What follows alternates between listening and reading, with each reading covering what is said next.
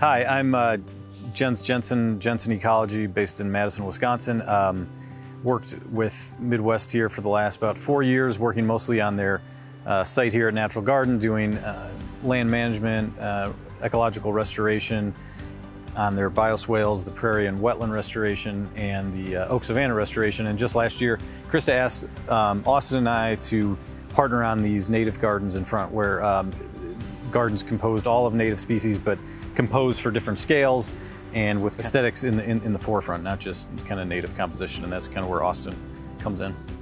Hi, I'm Austin Eischeid, owner of Austin Eischeid Garden Design, based in Chicago. And I do naturalistic plantings and I have been working with Midwest Ground Covers for three years now, working on their display and trial gardens in St. Charles. And so I was really excited when Krista asked me to work with Jens on this project using all natives, local ecotypes here at Natural Garden Natives.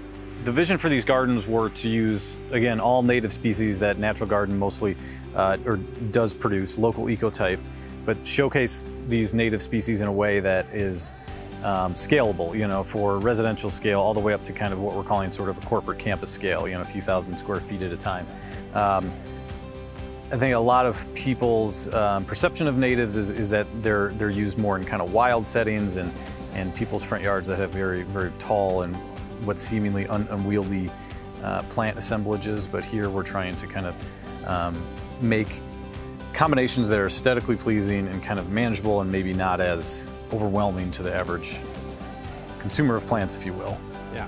So we broke it down into three residential size gardens and three mid-sized gardens that are a little bit larger scale, one taller and two mid-sized that are about two to three feet tall. And then we did three corporate-sized gardens that are for large commercial properties or large residential properties.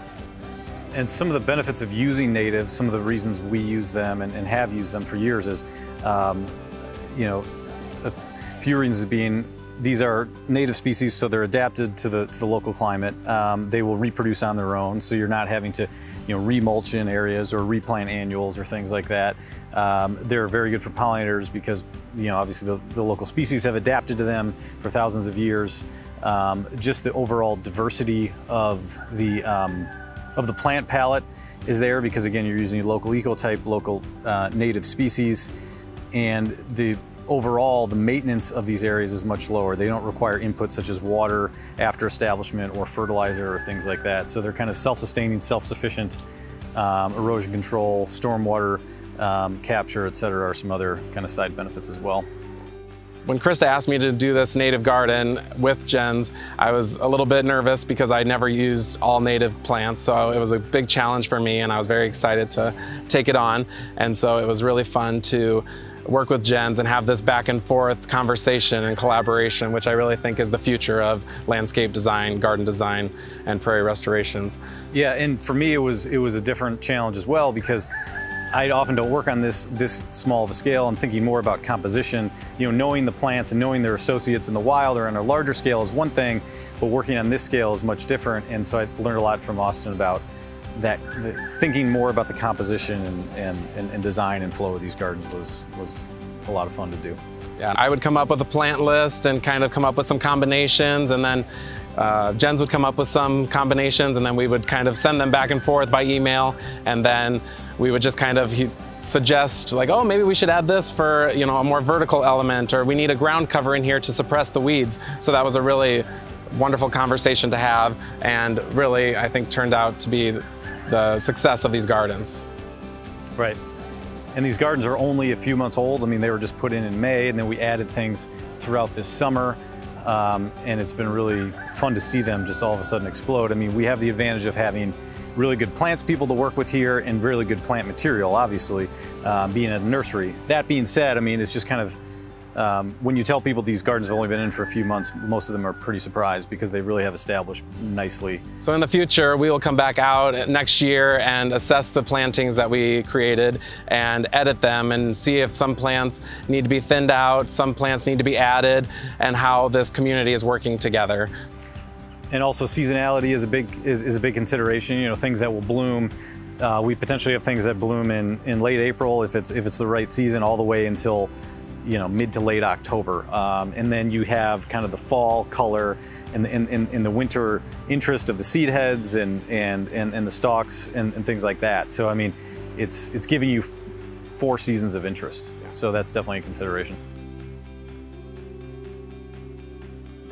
A really fun thing about this garden and the design process that we had was we came up with a plant list and typically you would hand draw everything where it's going and its locations, but Jens and I came up with these plant combinations and then once we settled on having all of the seasonality and the right plants that will work together in a community, we made sure that we had the right percentages of plants. So based on their competition and their competitiveness, we did the percentage of each plant and how, you know, how many percent we wanted of Eryngium yuccifolium. Since it's more aggressive, we wanted maybe 3%. And something like Carex rosea as a ground cover, we wanted 40% to make that be the matrix that melds everything together and to cover the ground and help suppress weeds.